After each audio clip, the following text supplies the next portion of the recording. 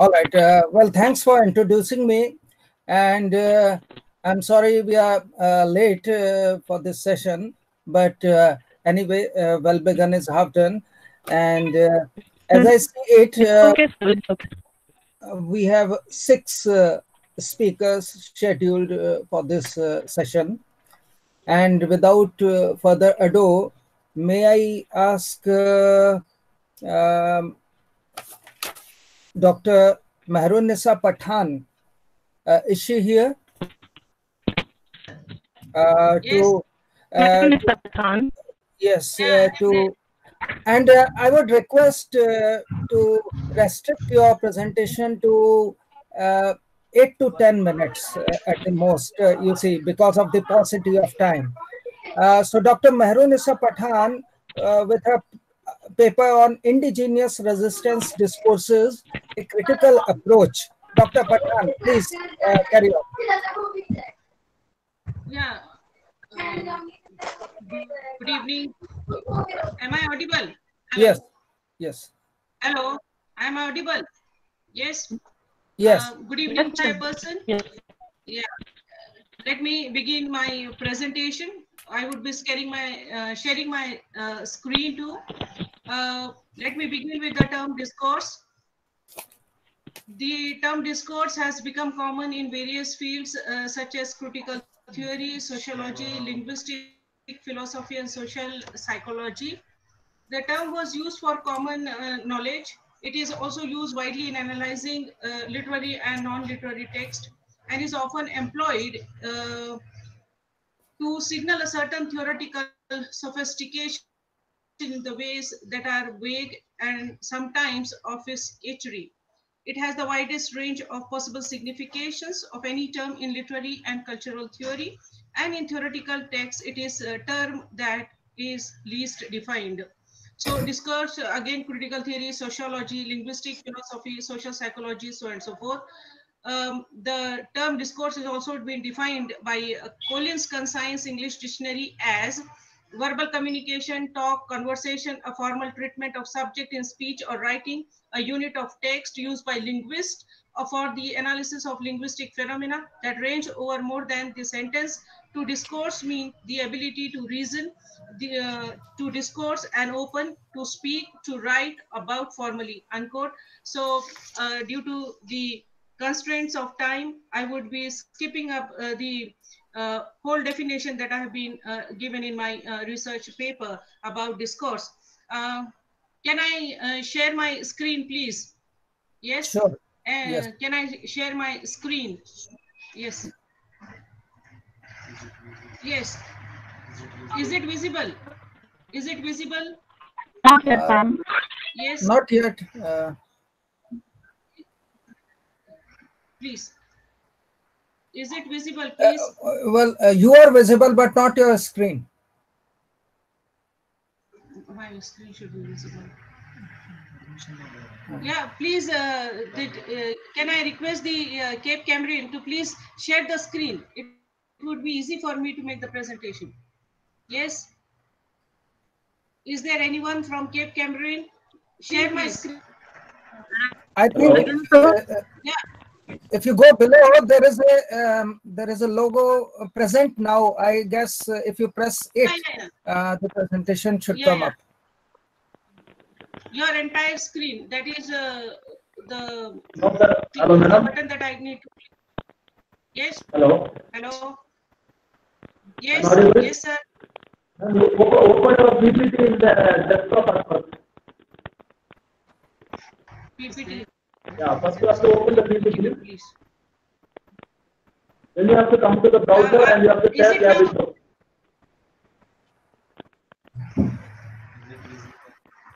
Is it visible? First, you have to open the uh, PPT, ma'am, and then you have to come back to uh, share screen and or present now. It's written. uh, Can you see present now over there?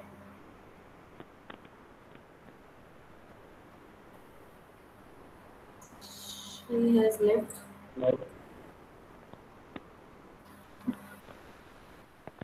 So can we proceed further uh, in the meantime while she Yeah. joins? Uh, Yes, I guess uh, if it is taking too much of time, uh, Dr. Pathan, uh, you can just speak on. Uh, we are all listening to you.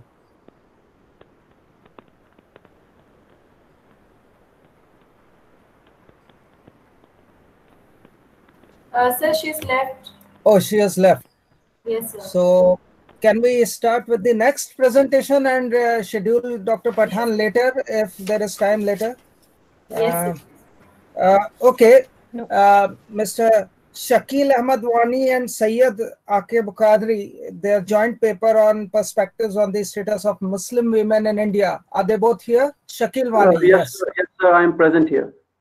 Okay, so seems to be a very interesting topic. Please uh, go ahead and uh, restrict yourself uh, to 10 minutes at the most, please. Thank you, thank you very much, sir.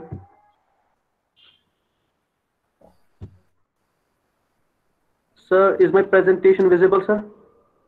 Uh, you are visible, but not your presentation. Oh, wait a moment, sir.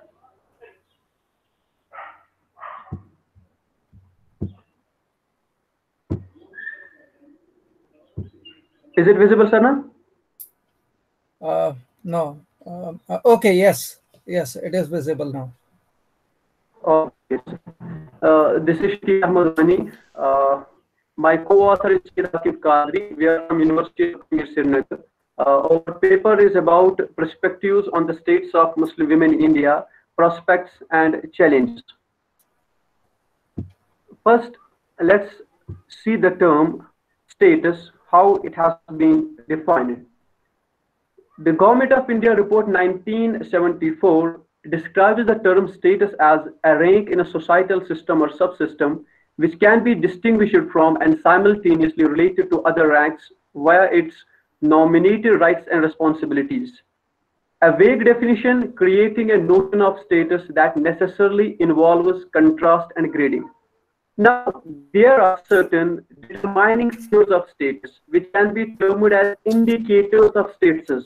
For example, income, assets, prospects, education, and training in skills that provide better chance of employment, state of health, rights, and freedoms.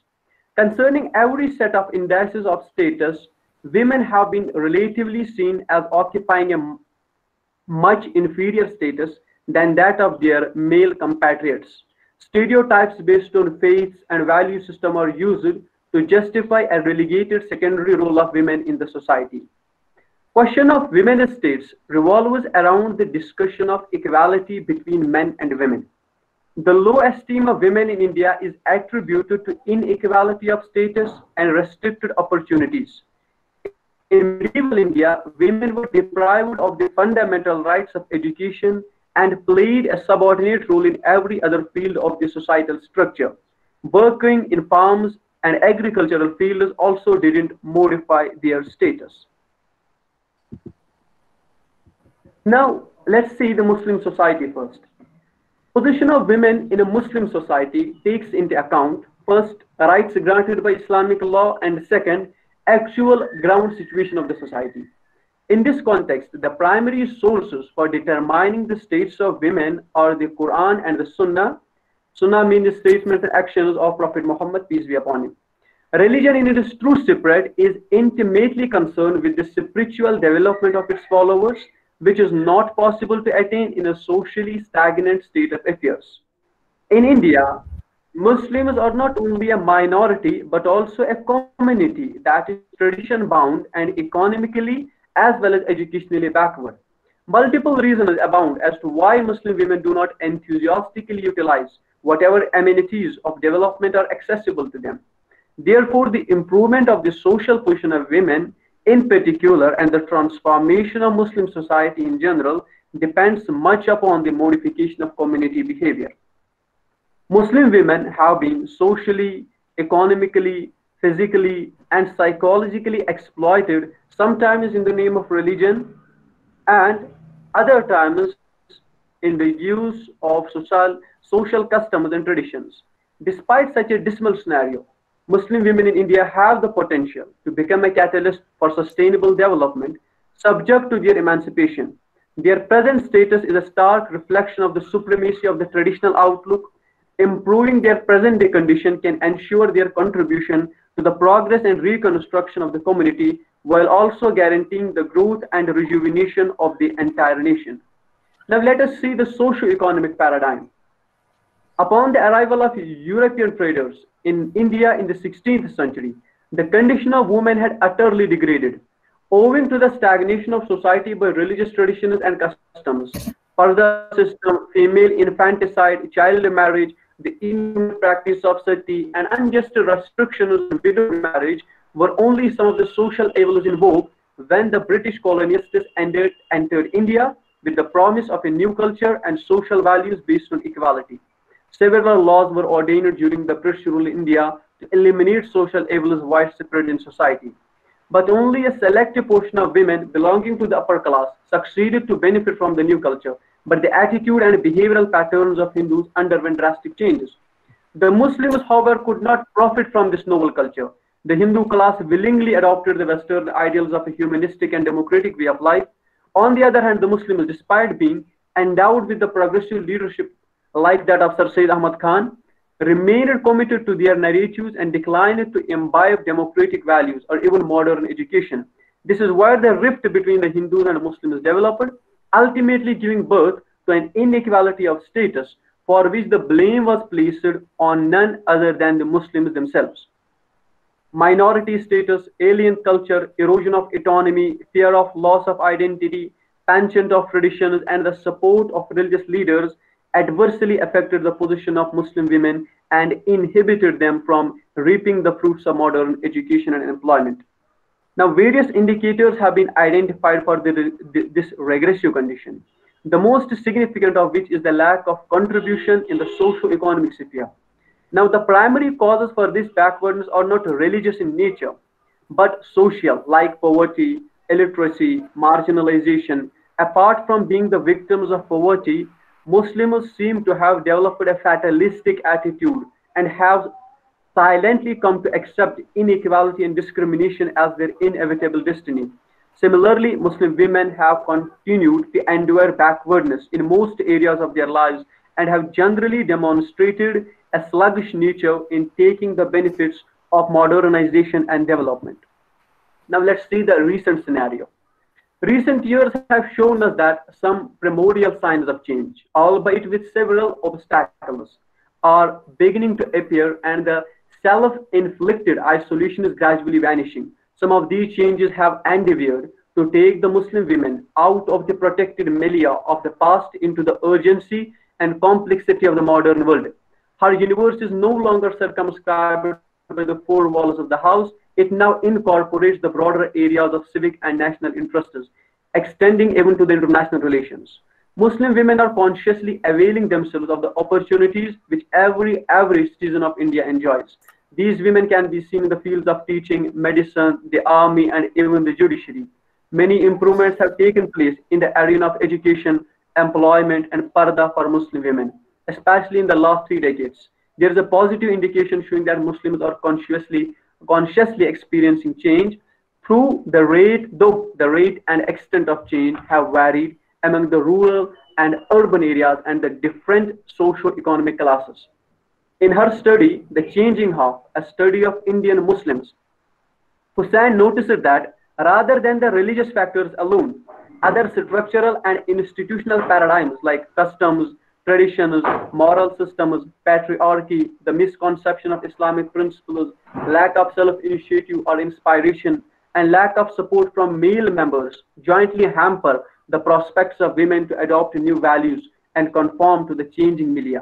Diverse variables like education, age, family structure, income, duration of stay in town, exposure to mass media, etc., have contributed ominously in altering the attitude of Muslim women towards the course of modernization and social change. Furthermore, it has been suggested that the backwardness of Muslim women is the result of the absence of a refined culture among the community generally, clearly implying that Islam has not come to their rescue, but it can be misleading to generalize the overall condition of the women by ignoring the inherent problem of class difference. The women belonging to the upper strata have a measurable degree of emancipation, notwithstanding the community or religious affiliation. while the women in lower strata are backward and conservative. In this cultural context, mere reliance on law or follow demands of change will turn out to be a futile exercise. What's required is a reform of such proportion which can enhance the educational status of men, women and increase their participation in economic activities. Now, there are some Muslim women networks who work for the emancipation of women. We see several networks or coalitions of Muslim women's organizations have come into existence that strive to develop a dialogue among themselves with the clerical establishment and with the larger community on women's issues in general, rather than focusing on individual women. For this purpose, they hold conferences at which resolutions are passed, which are then published in the media and organized rallies, often in conjunction with secular women's organizations. They also run legal awareness camps for poor women in rural areas and urban slums, and frequently scrutinize and even interfere with an apparently anti-famine fatwa, religious ruling, is issued by clerks in the country to draw widespread public attention. Notable examples are like Sharifa Khanam, founder of an NGO called STEPS in Pudukkottai, Tamil Nadu, that aims to support victims of domestic abuse. She currently leads a controversial and widely publicized campaign to construct an all-women mosque. She was the 10th child of a poor rural family and had lost her father before she was born. Due to their poverty, her family was never able to arrange her marriage and she has remained unmarried. Another one is Rehana Sultan, director of the Center for Women's Studies at Maulana Azad National University, Hyderabad. Another well-known uh, spokesperson for Muslim women's legal rights. Compelled by personal misfortune to dedicate her life towards the empowerment of Muslim women, she also runs a small NGO, Basme Shams in Isma, that provides marriage counseling and legal advice to distressed women. Now, what are the major challenges? The chronological history of Muslim women and their wide-ranging role elucidates that the Muslim community has been facing varied problems and challenges, primarily as citizens of India and secondarily as members of India's largest minority in an unstable inter-community relationship. Their disadvantaged socio-economic states depicts a need for social prospects which, however, is not a characteristic limited solely to Muslim women, but is aggravated by their minority position within an overall framework of a social drawback for most of the Indian women. Studies have revealed that most Muslims in India do not feel themselves to be Shakil, a part uh, of this Shakil. Uh, please, Right, con- please conclude in one minute. Uh, uh, Okay, sir. Okay, sir. Now coming to the conclusion. Uh, several decades have passed since the independence of India, yet women in Muslim communities still face considerable challenges as citizens of this nation and as members of India's largest minority.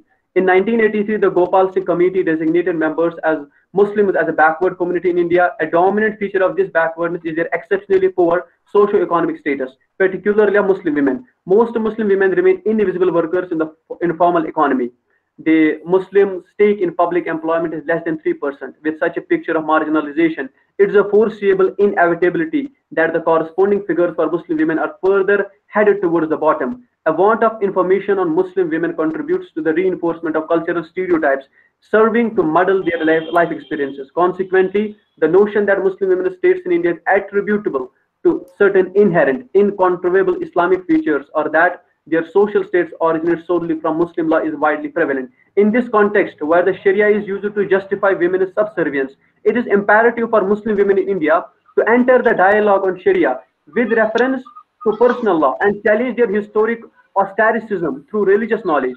Additionally, it is crucial for Muslims, women and men, to debate among themselves the possible causes and remedies to alleviate their poor states as citizens of India.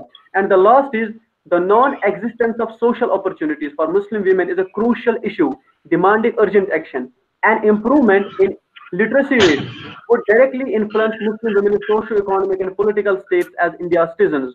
The acknowledgement of the universality of women's rights by the international community is relevant to the debate on Islam and women's rights. Principally, regarding women's rights in the family system, the formation of forms and associations of Muslim women, men and women in initiatives in the 1980s 90s is also an important step towards sustaining public debate on Muslim women's issues. Muslim women and men must team up with individuals and organizations that are dedicated to the realization of Muslim women's rights. The coalition of Muslim women with the women's movement in India as well as movements for secularism, democracy, and human rights is a critical in forging a common front against the forces that are oppressed to women is opposed to women's self-determination. With this, I thank you all of you. Okay. Uh, thank you, Shakil. And it is really heartening to see that uh, uh, a paper on such an important topic has been presented by two males. Um, uh, that is on the marginalization of Muslim women. And uh, Shakil and Syed Akib have uh, well covered several aspects very comprehensively, in- including stereotyping, the socio-economic paradigms that result in the marginalization of Muslim women, and uh, he has also taken a bold stance uh, asking women to challenge their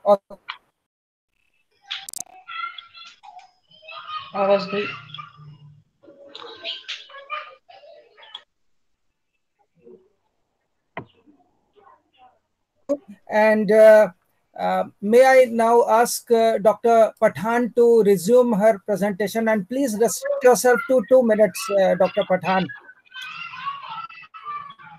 Dr. Hello. Pathan, are you?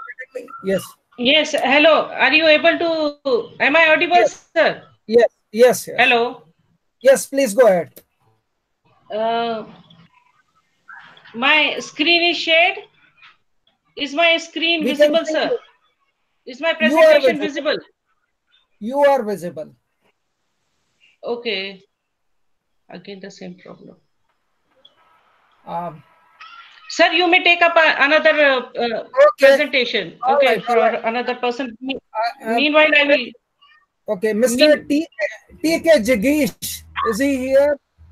T. K. Yes, sir. Yes, sir. Yes, sir. uh, T. K. Jigish is uh, going to speak on indigeneity in Indian culture and Eurocentric overlapping. Um, uh, Mr. Jigish, please start and uh, Okay. conclude in 10 minutes, please. Okay, sir. Okay, sir. Shall I start, sir? Sure, sure, please. Okay. Uh, very good afternoon. Oh, sorry, good good evening uh, to Anurag sir and uh, other paper presenters and uh, all others who are gathering in this platform. My paper name is Indigeneity in Indian Culture and Eurocentric Overlapping. As the title indicates, uh, this this essay, this paper is an attempt uh, to try to understand the indigeneity of Indian culture and the uh, cultural overlapping of Eurocentric notions over it. How Eurocentric notions try to overlap other cultures, especially our Indian culture. That's what the question raises here in this study. Indian cultural background is taken uh, for analyzing the context here. Okay. As we all know, our India has a rich cultural background. Uh, the culture of India refers collectively uh, to the thousands of distinct and unique cultures of all religious and uh, communities present in India. Uh, we know that Vedic culture, uh, different uh, darshanas, biggest epics, Ayurveda, uh, Yoga, Natyashastra, uh, Kama Sutra, etc., are the flowers of our Indian uh, culture. Okay, India's languages, religions, dance, music, architecture, food, and customs differ from place to place within this country.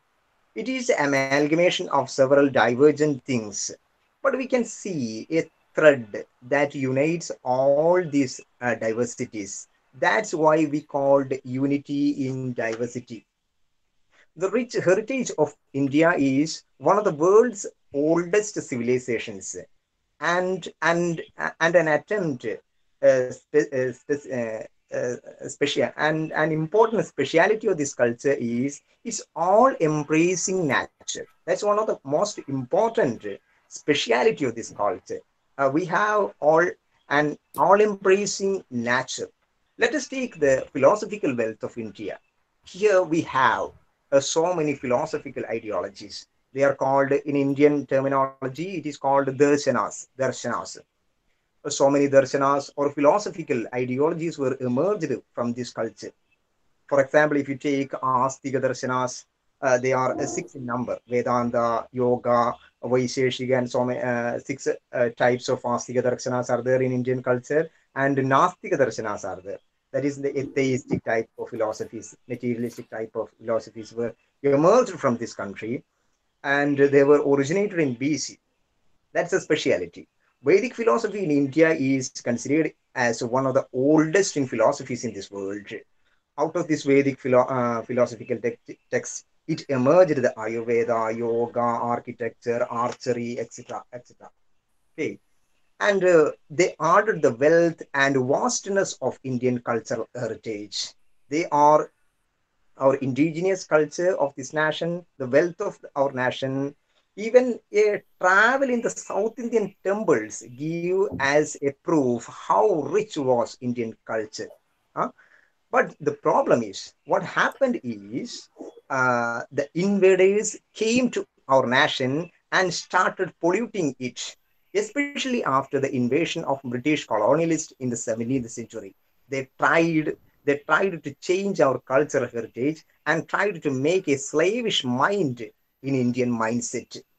They, uh, they implemented an education strategy here. It is called the Macaulay Minute in 1835.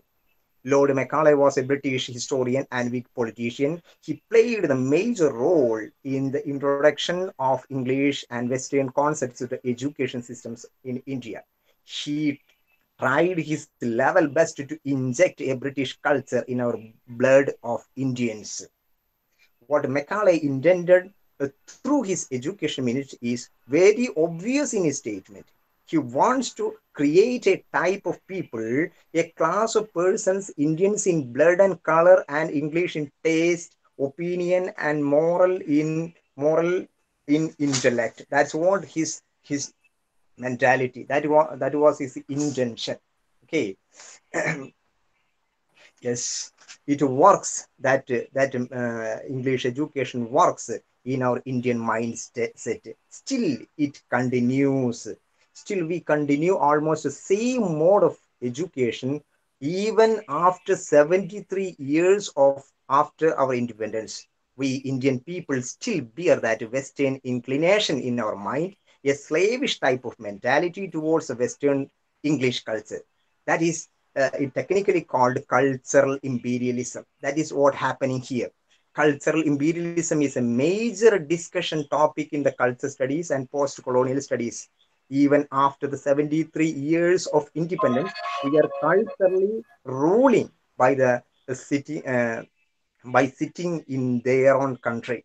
Their influence is still there in our Indian mindset. We think that their culture is great and ours is under mark.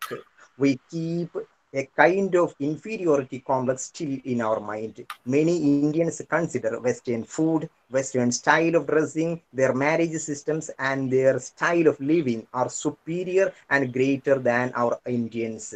Thus, we try to imitate their culture of living this is called technically it is called mimicry.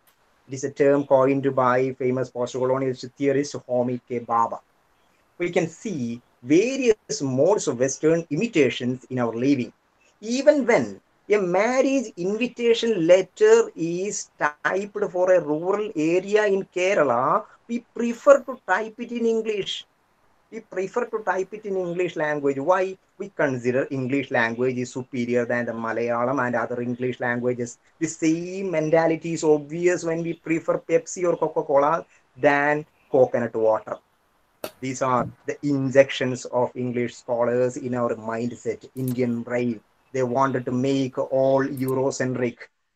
Eh? That is, they wanted to make all the knowledge systems centered around to English culture this previously mentioned Lord Macaulay and Max Muller were the two English intellectuals behind the, the forming of Boden chair in Oxford University.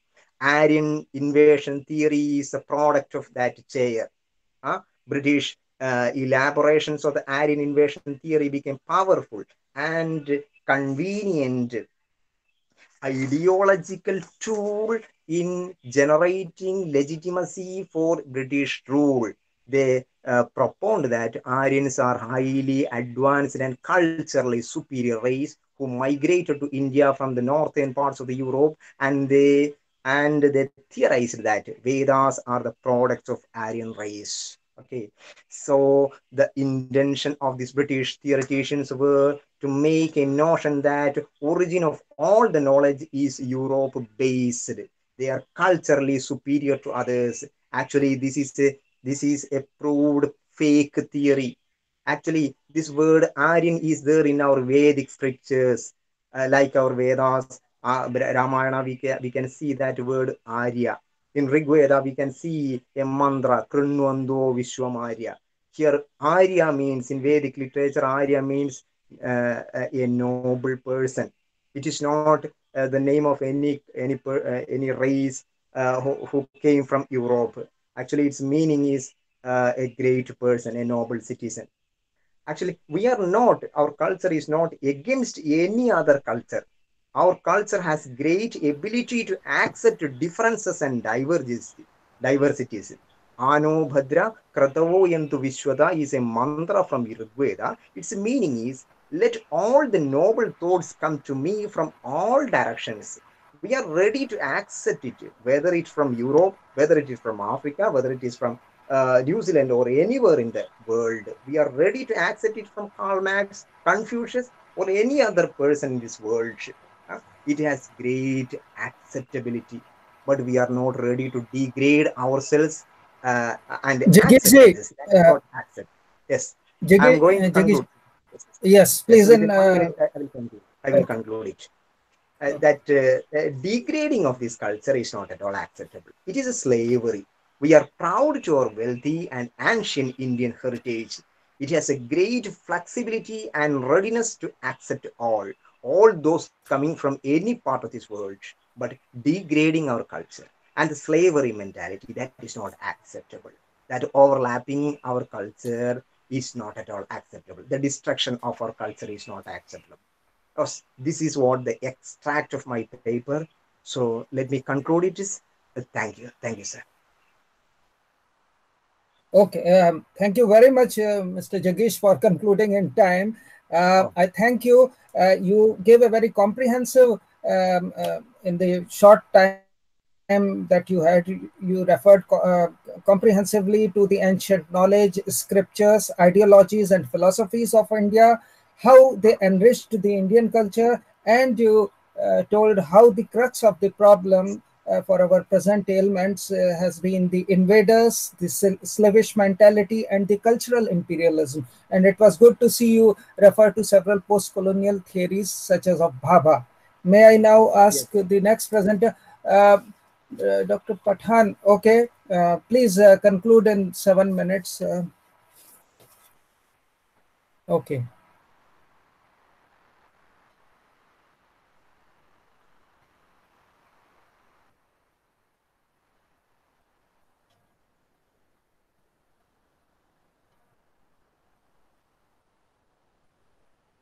Hmm. Hello, am I audible, yes. sir, now? Yes, yes, yes. And uh, the screen is also being seen. Am I right? Yes? Yes. Hello. Yes, yes. yes. Uh, sir, uh, let me begin my presentation uh, with uh, what is discourse. Uh, I have given a detailed definition about that as it has been uh, described by the defined by the Collins uh, Concise Dictionary in 1988 that it's a verbal communication, talk, conversation, a formal treatment of a subject in speech or writing, a unit of text used by linguists for analysis of linguistic phenomena that range over more than a sentence. To discourse means the ability to reason. To discourse means to open, to speak, to write about formally, to give forth music uh, that's again in a 14th century from medieval Latin discursive arguments from Latin uh, running to and fro from discourse. Uh, that's unquote uh, that definition that I have uh, tried to give it from Concise Dictionary. So to read, to speak, to discuss a text, verbal expression, to reason is the meaning of discourse. So the meaning of discourse changes from one academic discipline to another. Moving on to what uh, Michel Foucault has mentioned in the archaeology of knowledge and its Sarah Mills' uh, book written uh, on discourse in 2007. It provides a detailed analysis of the term discourse by Foucault.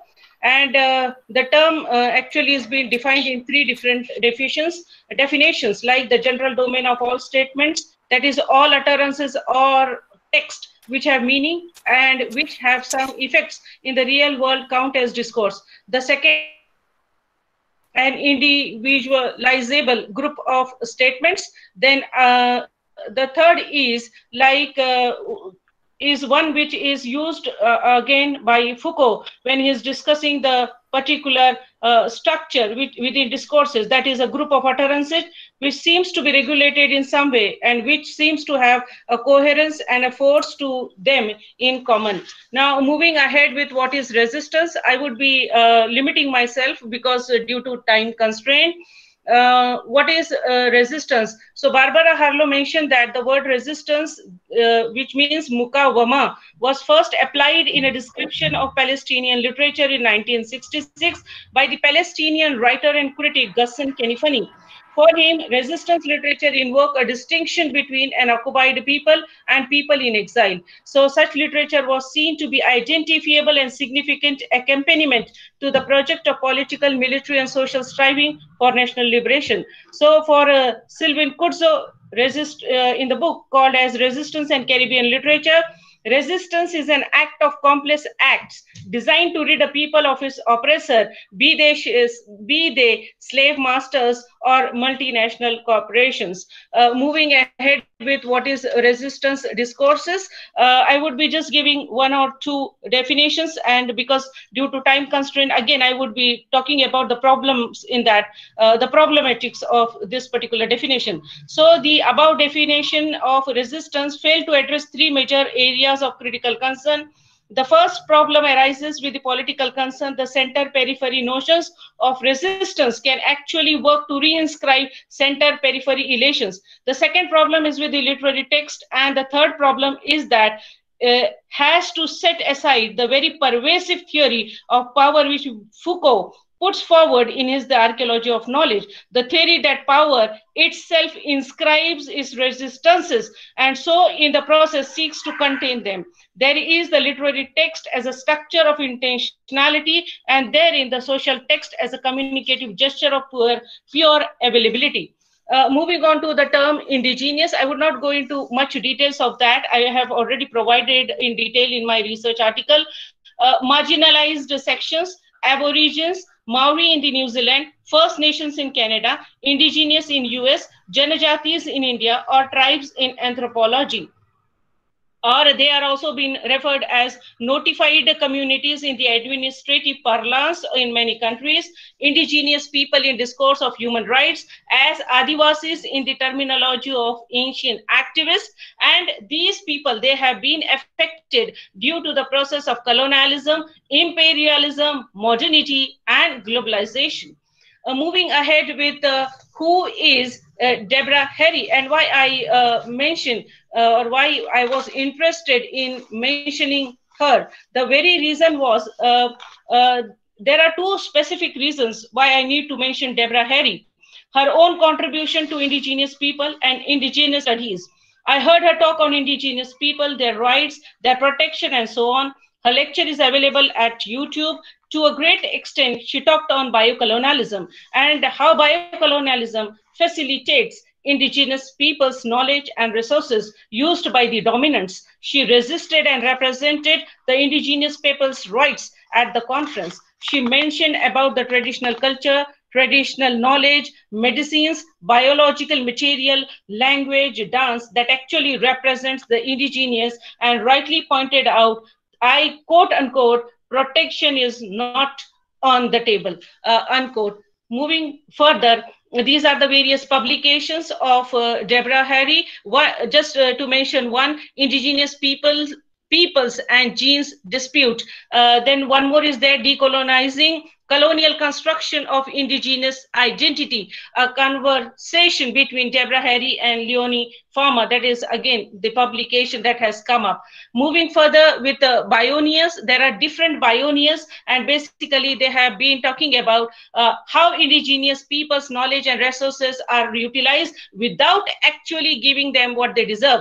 Then medicinal herbs that are being used, the natural resources. So let me mention uh, what G.N. Devy sir has mentioned yesterday, that uh, when, uh, when you present a research article on indigenous people and get it published for which you require a paper and again the paper is made by cutting down the trees which is a source of survival for these people so how you do justice to these people uh, moving further um, this how they have been talking uh, these pioneers have been raising up issues and talking about uh, actually they are resisting and representing the indigenous rights for that matter moving further, the interdisciplinary approach to this particular uh, um, uh, studies, which is called as indigenous studies, there should be an interdisciplinary approach to indigenous studies. Like you have British literature as a part of our curriculum, so should be the indigenous studies. No more indigenous literature should be studied in isolation. It, uh, as it focuses on culture,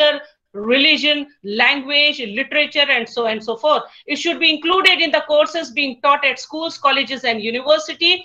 Instead of isolating indigenous studies by having separate universities established, we have different branches of studies like post-colonial studies, for instance. So it should be included as a part of these studies, uh, not as an uh, rather optional.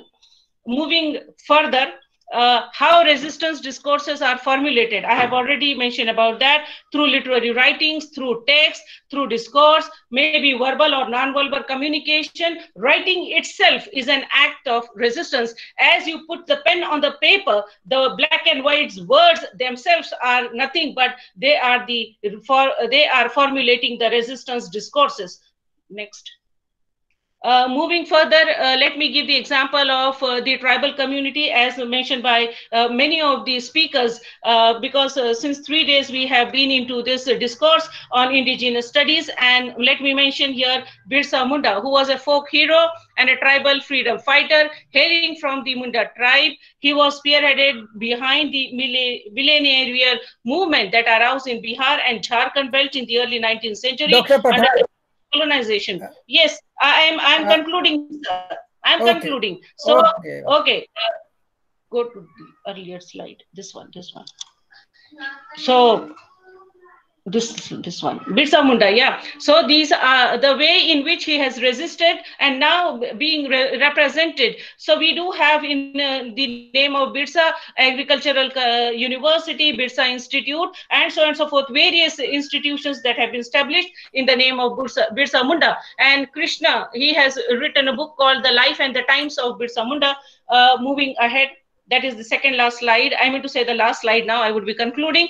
Indigenous studies are available at University of Oklahoma, University of Oxford, and so on and so forth. So various universities, like you have Toronto, you have First Nations University of Canada. What I mean to say is, like, why not to include the indigenous studies? The basic argument of my presentation is, why not to include them into the main curriculum so that it is brought to the main uh, stream literature for that matter. Thank you so much, sir, for giving me uh, patient listening. And thank you each and everyone for giving me this opportunity to present my views uh, on resistance discourses uh, related to the indigenous people, indigenous studies for that matter. So thank you one, uh, once again. And um, for giving me this opportunity to have a global discourse. Thank you so much, sir. Uh, uh, thank you, Dr. Pathan. Uh, and it was uh, a very good presentation. You have worked very hard on your presentation. We could see that. And I wish there could be some discussion on this, but we are short of time. You covered several aspects such as discourses, the theories of power such as by Foucault, by uh, colonialism, and your emphasis on interdisciplinary approach to indigenous studies is very well placed and pertinent. So thank you for an excellent presentation. I now uh, um, go on to the fourth uh, presenter uh, of this session, that is R.S. Athira. Is she here? Yes, sir. R.S. Athira. Yes, sir. Okay, please go ahead, introduce your topic, and uh, your 10 minutes start now. Okay.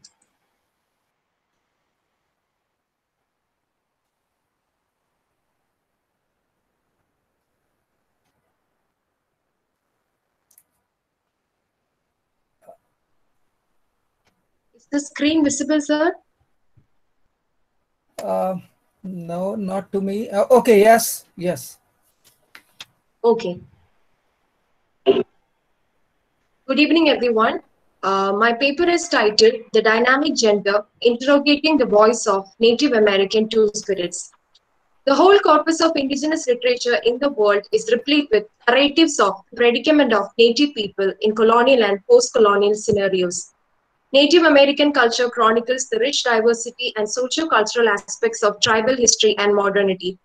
The aspect of alternatives to the Western categories of man and woman existed in Native American tribes, which is a reflection of the vast diversity in gender and sexuality in indigenous cultures. Such dynamic individuals are termed two spirits who held special ceremonial and important economic roles in pre-colonial Native America. Colonization transforms such gender and sexual identities, and the contemporary effect on the two spirit tradition is the adaptation of a modern Western gay identity.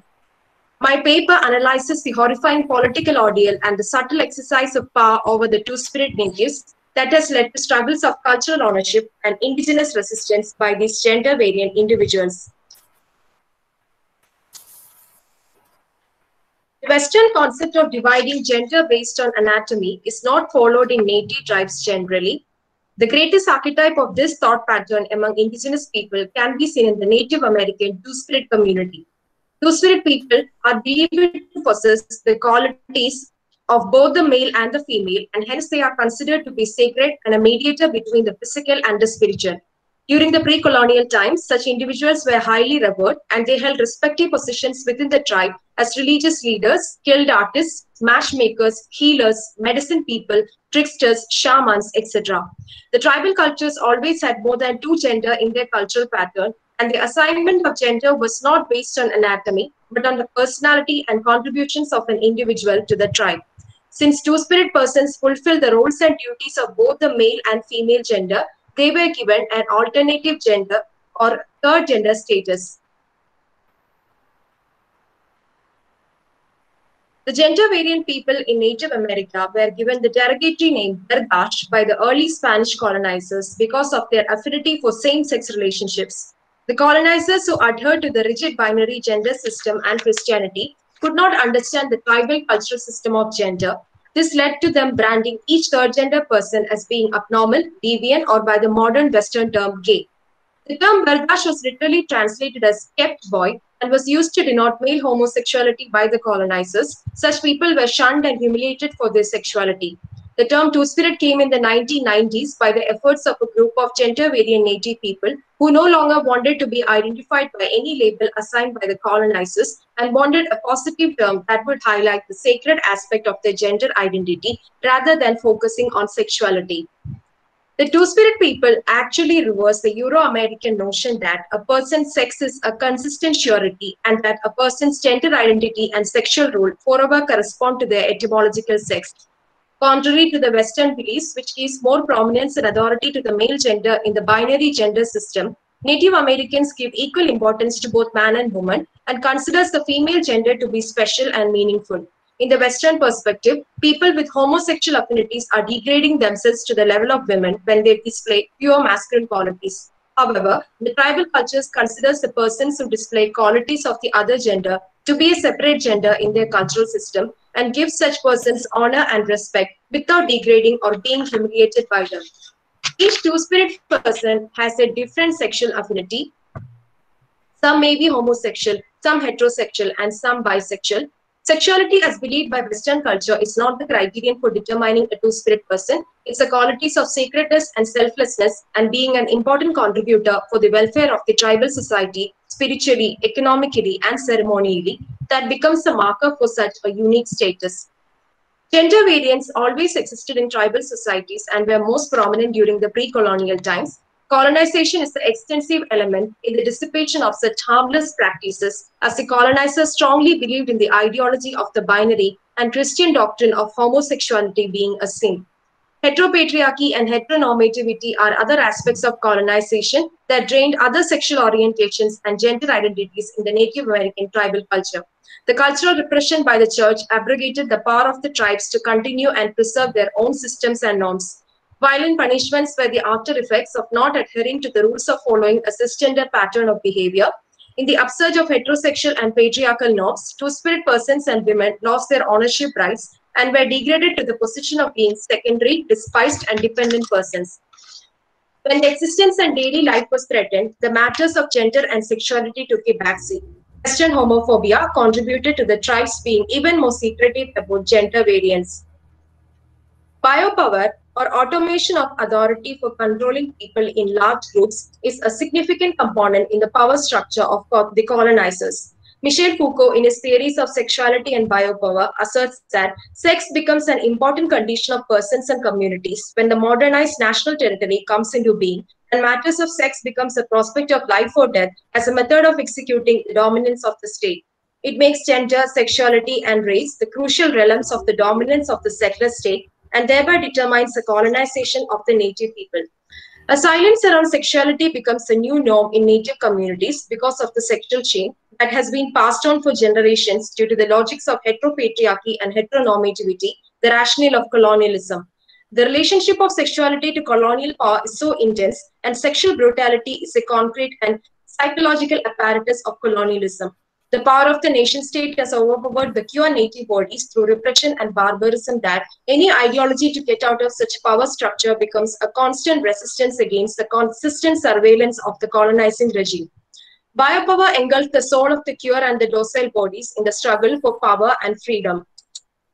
Acculturation is a key factor in the social, cultural, and psychological impact that the balancing of two cultures have caused upon the native bodies. When the colonizers arrived, they brought with them a system of sovereignty that did not blend with the native way of living.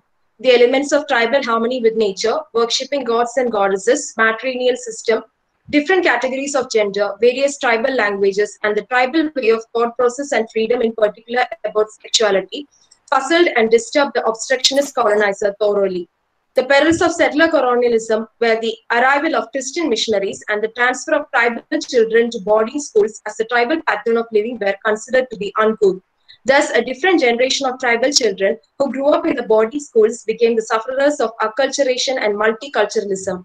The new environment of the Western life and habits erased the nativeness in these people, and since homosexuality was considered a sin, they were forced to live a heterosexual life irrespective of their desire. Multiculturalism also muddled many of the new generation ages as they were not able to understand their true spirit identity. Everyone was labeled as gay in the Western eyes, and gay was considered an aberrant and a fault. Settler colonialism unsettled the colonial bodies and the colonial minds equitably, and the ideology of the native as the other essentially formulated the Western subjectivity. Cultural imperialism is a major element that the natives in general and the two-spirit people in particular encounter in the neo-colonial era. The colonizers have brought with them not only Christianity, missionaries, and the boarding schools, but the colonial culture brought diseases, smoking, alcohol, and drugs into the reservation that caused in many of the native youth getting addicted and falling prey to a number of illnesses as versus the AIDS and tuberculosis. The pure native body was colonized, and the native nationalisms cultivated homophobia as a part of modern nation building and erasing the traces of nativity in the tribes people, altering traditions to suit the heteropatriarchal views and forcing heteronormativity into the system, naturalized the modern constructions of power. The tribe started erasing the memory of gender and sexual variance from their reservations, or they made it secretive, fearing punishment. Such expulsion forced the queer youth to leave the tribes and merge with the Western gay communities in the cities without understanding the difference between their two-spirit identity and modern gay identities. Two-spirit literature is a category that is emerging in the field of pure literature and writings. Earlier, there were only anthropological writings about two-spirit people who were not completely appropriate as most of them were Westerners who interpreted the two-spirit culture according to their own sensibilities rather than portraying the actual truth. Starting One from the minute, 1980s. Okay, sir. Starting from the 1980s to the contemporary times, many writings, both fictional and non-fictional, have come about the Two-Spirit people, some of them being an eye-opener in this underexplored realm of culture. Even though there are a number of writings about Two-Spirit people, the area is still largely unexplored by researchers and writers. After a setback from the colonizers, the Two-Spirit movement slowly started gaining importance in the late 90s and the movement primarily fixated on what makes a native Two-Spirit, the ceremonial and medicinal power. Ceremonies are an important part of Native American life. The native tribes believe in the power of ceremonies and the worshipping of elements of nature through these observ- observances as a cleansing and healing process for both the body and the mind. From time immemorial, two-spirit communities believe it to be the conductors of ritual-based ceremonies as they are presumed to be the go-between amidst the man and the woman, the physical and the spiritual, the body and the soul.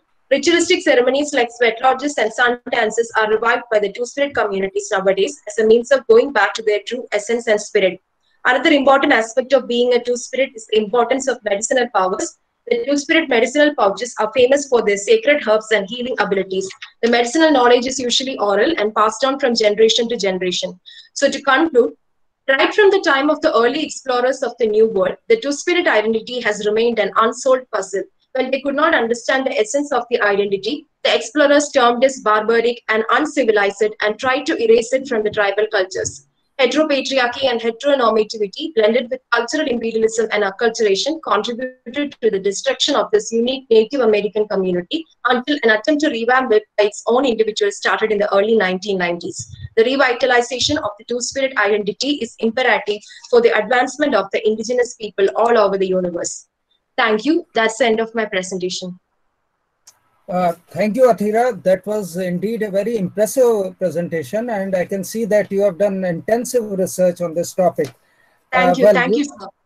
You talked about several concepts like heteropatriarchy, heteronormativity, homophobia, biopower, the uh, theories of Foucault and others, and how these things were used as power constructs for domination.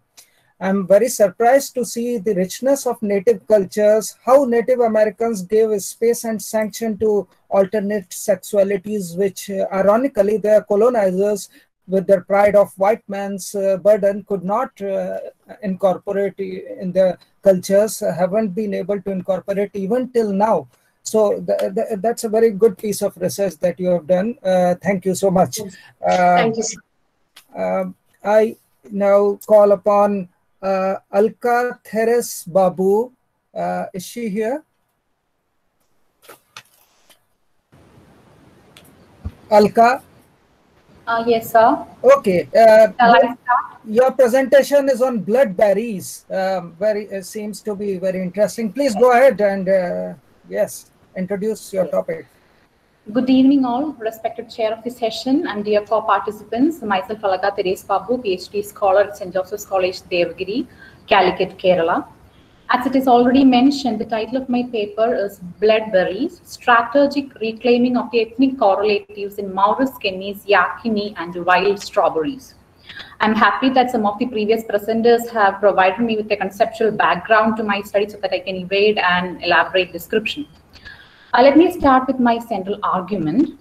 My argument is aboriginal literature in general and Kenny's works, in Maurice Kenny's works in particular, incorporate certain ethnic images or symbols in them repeatedly to achieve the end of transforming the melancholy to mourning, re-establish an ethnic pride, infuse the feeling of collective identity, and thereby resist hegemony. So basically, the recurrence of ethnic correlatives or culture specific symbols in the works of Aboriginal writers led the natives to resist hegemony and thus claim their space in the current socio-cultural scenario of the place. As we all know, with the latter half of the 20th century, postmodernism and its offshoots ensured the replacement of meta-narratives with mini-narratives. Indigenous writings such as Canadian First Nation literature, Indian tribal literature, Native American literature, and so on are being studied and analyzed in the academic circles, considering them as mini-narratives and counter-discourses. The literary and artistic renderings of the ethnic groups of various spaces exhibit similarities because of the similarities the level of exploitation and suppression they experienced.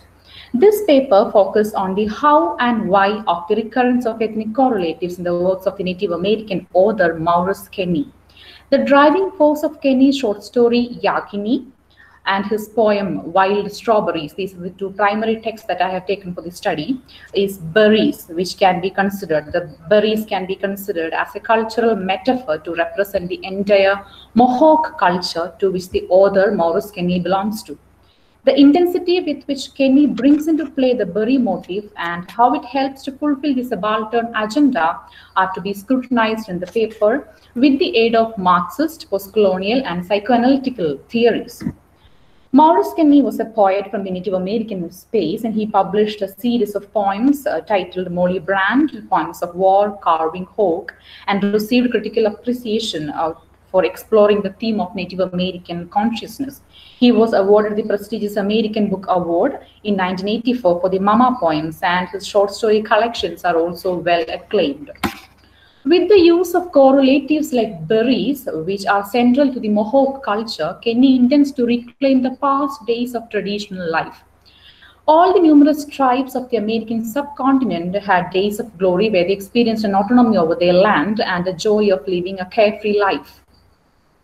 They believed they belonged to the nature, not nature belonged to them. Each of these tribes possessed their own culture and tradition had developed or that had developed over thousands of years ago. So it is obvious that the cultural symbols would appear and reappear in the works of the Aboriginals. The reason behind this loud acclaim is their status of being marginalized. The Native American space was being colonized for thousands of years by the colonial powers of France, uh, Spain, England, and so on. They propagated the colonial ideology through the discourses of a civilization project and the white man's burden, and they disseminated power. According to Foucault, power is exercised than possessed, and this exercise of power made these communities marginalized. Where there is power, there is resistance, again by Foucault, and this resistance take conceptual rendering in the post-colonial Native American literature. The hegemony of the colonizers continued and still continues in, in, uh, in certain aspects among the Native American tribes. The primary attraction of the colonial powers to expand in the Native American lands is their material greed. They expand ruthlessly, claiming Native American lands and killing masses of natives. The Wounded Knee massacre is an example. They intruded upon the forest without considering the ecological aspect or ecological stability.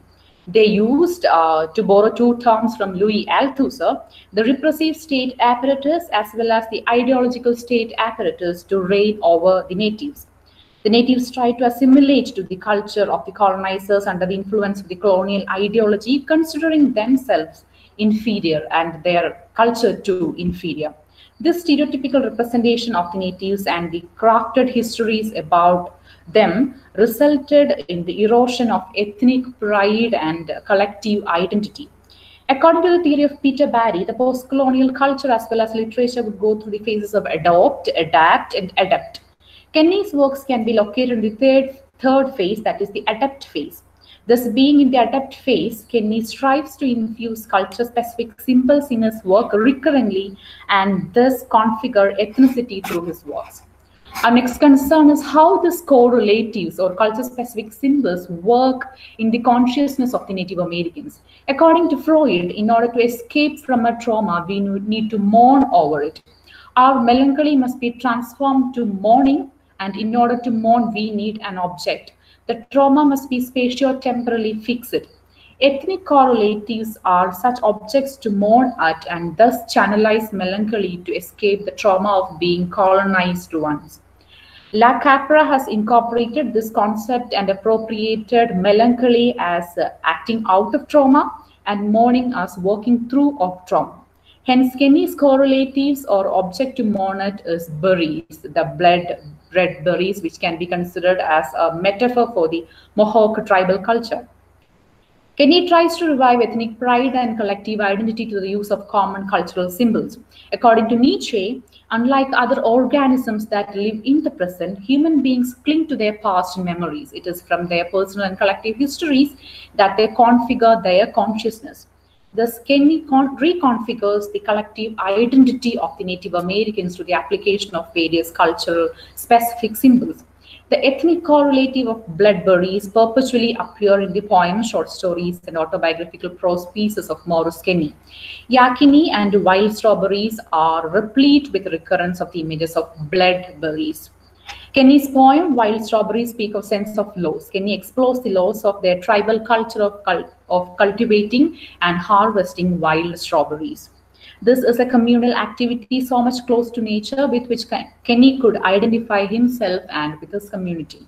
With an intense passion, he, he nurtured he laments over the loss of culture of strawberry farming, while I quote woody strawberries, which is a phrase from the poem Wild Strawberries, which is imported from Mexico, grown by Mexican farmers.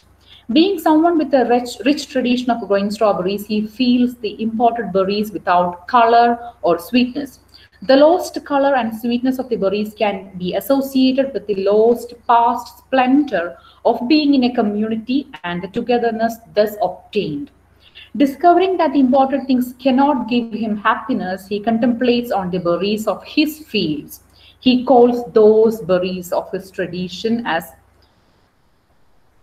my wild blood berries. He is in fact identifying himself with the tribal culture he belongs to. The berries and the berry cultivation or the berry uh, harvest station symbolize his tradition. Those berries for Kenny stained his face, honeyed his tongue, and healed the sorrow in his flesh. This sorrow in his flesh signifies that only the tradition of his tribe could heal the trauma of assimilation and being colonized. Uh, all the imported things failed to render any kind of healing. Towards the end of the poem, uh, the poem actually ends in a desperate note. I sat here in Brooklyn eating Mexican berries, which I did not pick nor do I know the hands which did or their stories. He is not at all aware of the stories of the people who cultivated the imported berries. So he could only associate with his own tribal background and he could identify only with that, not with the external uh, agencies or any imported things. All the any of those foreign goods can provide him with any kind of healing. I mean, uh, healing towards the trauma of being assimilated or being colonized. The One other minute more. Yes, I'm concluding. The other story, Yakini, The Wild Strawberries, is a poem, and the short story, Yakini 2, present a similar kind of a situation where the protagonist is Lena, a Native American old lady. She tried very much intensely to assimilate throughout her life, and towards the end of her life, she is getting a kind of realization, revelation that only tribalism or her ethnic uh, consciousness or ethnic background could help her to coming out of the internal trauma she is facing now. And in this story we can see like uh, lena is uh, associating the the color of the berries the cultural symbol berries like blood menstrual blood hospital blood scarlet like morning star crimson like clouds after the sunset red like this bottom of naughty child like anger on the cheek. She could associate any kind of daily things routine things with this bloodberries she cannot associate any foreign things with her identity. Only tribalism and her native background could give her a, a kind of uh, relief or healing.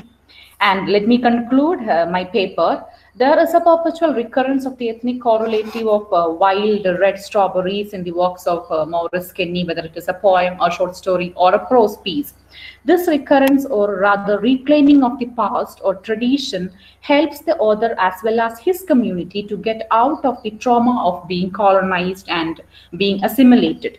This recurrence also make uh, them capable enough to retain ethnic pride, re-establish collective identity, and thus resist colonial hegemony. And resisting this colonial hegemony would assert their space in the present socio-cultural scenario. Uh, thank you for so much for your uh, for me. Thank you so much for your patient time, and and concluded my paper. Thank you so much. Uh, thank you, Alka. Uh, your paper on bloodberries that was really uh, another excellent one uh, where there is power, there is resistance, and you have shown how uh, this adapt phase, which you talked about, the consciousness of Native Americans, in particular of this particular writer, and how berries become correlatives, uh, uh, cultural metaphors and symbols.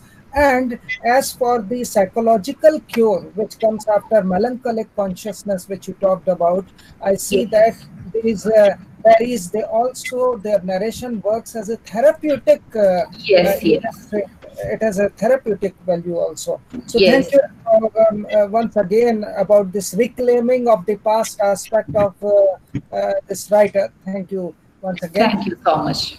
We, we have one last uh, presentation by A. Nilofer, which was not earlier, but it was incorporated later on. So A. Nilofer, is she here?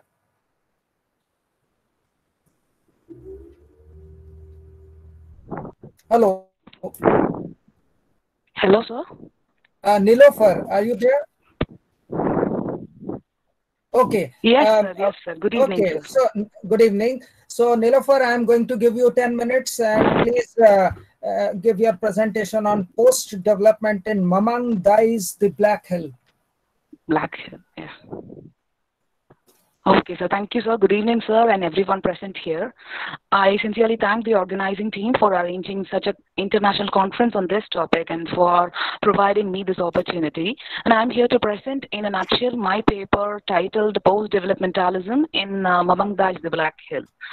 Uh, starting with a few words about the author.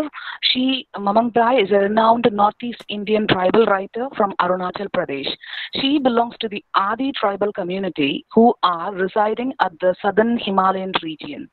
The Adis are one of the most populous indigenous groups in the state of Arunachal Pradesh. In her debut novel, The Legends of Pensam, Dai has documented the reaction of the Adis to the changes brought into their lands. I've actually attempted to scrutinize one of the significant challenges confronted by the tribal communities, uh, that is, uh, them being misrepresented by the non tribal world. The lives of the tribal communities are being distracted by such sort of intrusion by the outsiders and the ethnocentric attitude that contributes so much to the further deterioration of the indigenousness. The problem of having misperceptions towards the tribal communities could only be tackled by enlightening oneself with a proper knowledge of the tribal ways of living. Many of the Indian tribes are still remaining scriptless, and this has made them vulnerable to false accusations and exploitations for the people, for they are unaware of their rights being stolen. Around the world, the tribal histories are manipulated and are made to fade. With the accelerating modernization, the situations have further worsened because under the banner of development, the lands of the tribal people are usurped and exploited by making use of their innocence. Around the world, the tribal communities are deracinated, and uh, for example, the Indian Santal tribes are struggling being exposed to these uh, mushrooming modernization. Mamang Dai, coming to the novel, sir, Mamang Dai in the Black Hill has delineated very well the relationship uh, of the uh, tribal people uh, with their environment, uh, particularly the land, and she explicates the insurgencies of the two Northeast Indian tribes. They are the Mishmis and the Adi people uh, who are uh, struggling a lot against the colonial power. So both the Adis and uh, Mishmi, both their ways of resistance is being resisted in the book. The novel opens with the Adi people of uh, uh, sorry residing in uh, the village of Mebo, getting ready to protect their uh, territory from the Britishers who are attempting to enter the tribal villages.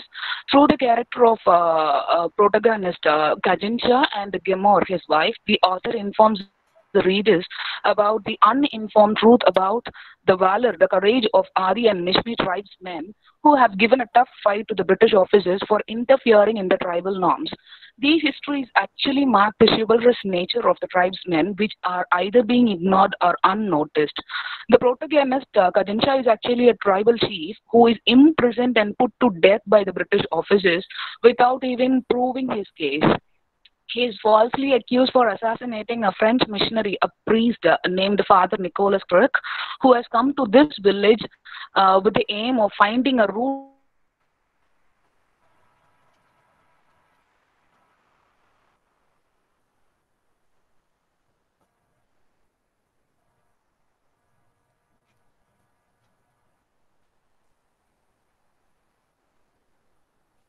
tribe were showing uh, the route to Tibet, and they this develops a fascination in them because uh, father uh, people like him are uh, trying to use their economic condition. This is how they finally invade the native lands.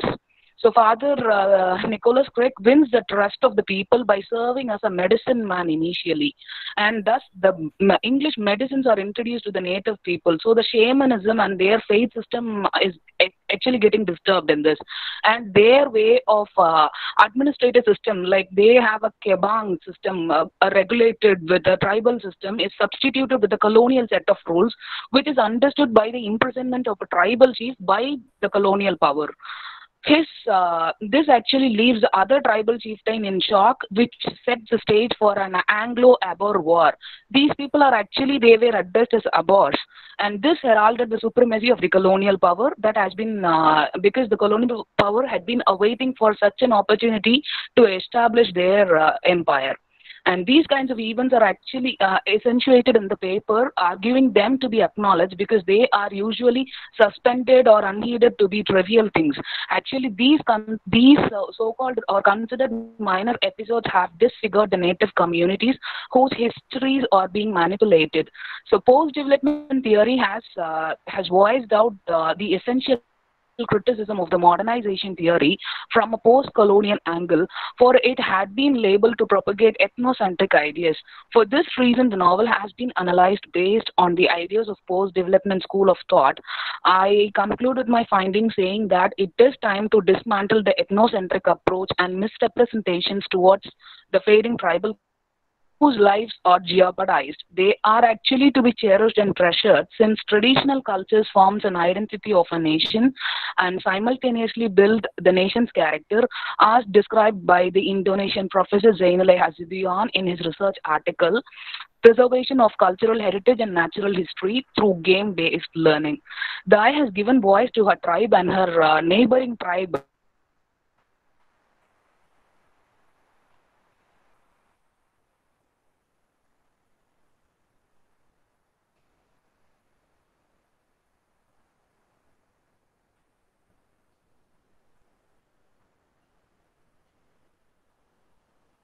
says.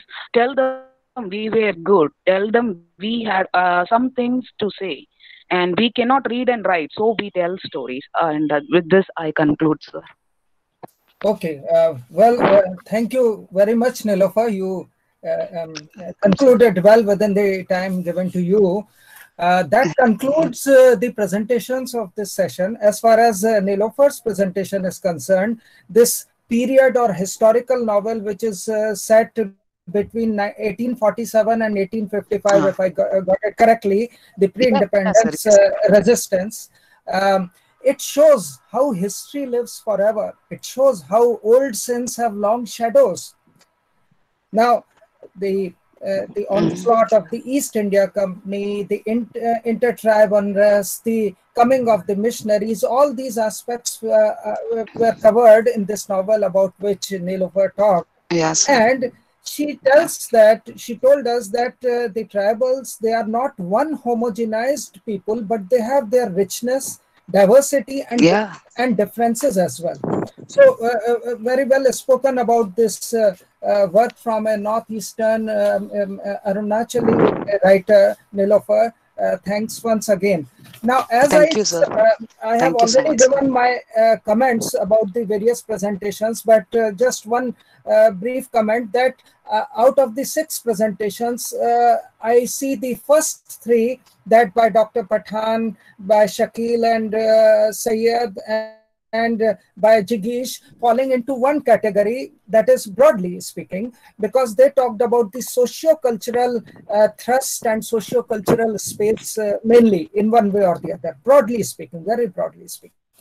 And the uh, last three presentations uh, that by Athira, uh, Alka, and Nilofer, I see them um, proving how there are cultural links between the marginalized people, irrespective of nation and race, everywhere. Uh, well, um, we, we, the presentations are over, but may I take five minutes? Uh, I mean, may I give five minutes to the audience to pose any queries or give any short comments? Short comments. or queries uh, to any of the presentations? Otherwise, we'll conclude.